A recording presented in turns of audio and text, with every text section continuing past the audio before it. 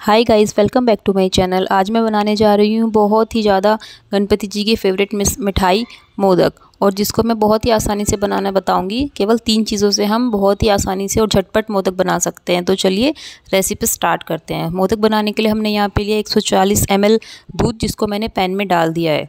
उसके बाद हम इसको थोड़ा सा गर्म होने देंगे। और फिर हम इसमें डालेंगे मिल्क पाउडर तो यहाँ पे मिल्क पाउडर मैंने लिया है साठ एम एल साठ एम एल वाले कप से नाप के। उसके बाद हम इसको भी इसमें डाल देंगे। और इसको अच्छे से मिक्स करेंगे जिससे कि इसमें लम्स ना पड़े। इस इस तरीके से इसको मिक्स करते रहेंगे और बॉयल बॉयल आने देंगे। थोड़ा सा इसको लगातार चलाते रहेंगे और इस तरीके की जब कंसिस्टेंसी हो जाएगी, तब हम इसमें शुगर ऐड करेंगे। यहाँ पे मैंने लिए तीस एम शुगर ये एक बटा चार कप शुगर डाली है बट ये एमएल वाले कप है तो मैंने यही लिख दिया है इसमें। इस तरीके से इसको लगातार चलाते रहेंगे और एक थोड़ा सा आ, इसकी थिक कंसिस्टेंसी होने देंगे। लगातार चलाएँगे इसको अगर हम लगातार नहीं चलाएँगे तो ये नीचे लग जाएगा। इसलिए ज़्यादा टाइम नहीं लगता इसमें मुश्किल से पाँच से छः मिनट में ही ये रेडी हो जाता है गाढ़ा हो जाता है। अगर हम इसको मीडियम टू हाई फ्लेम पे बनाएँगे तो इस तरीके से हो गया है। देखिए अब हम इसमें जो हमने थोड़े से इसमें ड्राई फ्रूट्स कट करके रखे हैं, जो भी आपके पास नट्स हों, वो सब आप डाल सकते हैं। मैंने यहाँ पे काजू और बादाम डाले हैं। बाकी जो भी आप डालना चाहें, वो सब डाल सकते हैं। इसके बाद इसको मिक्स करेंगे और थोड़ा सा इसको थिक होने देंगे इस तरीके से। देखिए, कैसे हो गया यहाँ पे, अच्छे से बन गया ये। अब इसमें इलायची पाउडर ऐड करेंगे।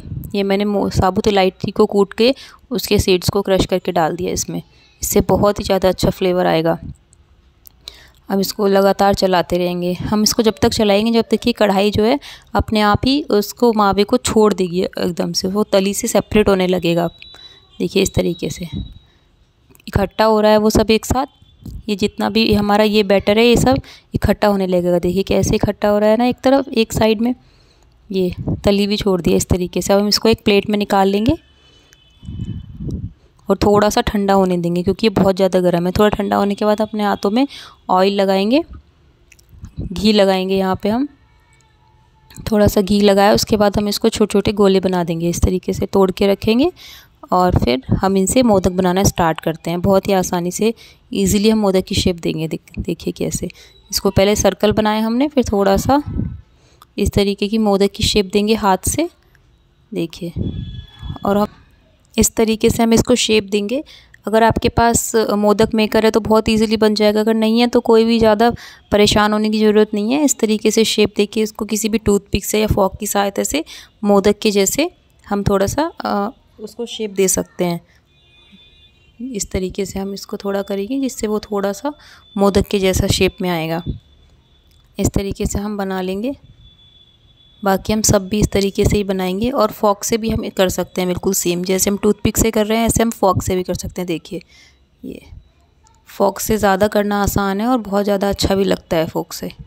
तरीके से हमने इसको शेप दिया अच्छे से। अब ऐसे ही करके हम सारे मोदक रेडी कर लेंगे वन बाय वन कितने अच्छे मोदक बन के रेडी हुए हैं। आप भी बनाइए, झटपट बनने वाले मोदक और मेरी वीडियो पसंद आई तो मेरे चैनल को सब्सक्राइब कीजिए।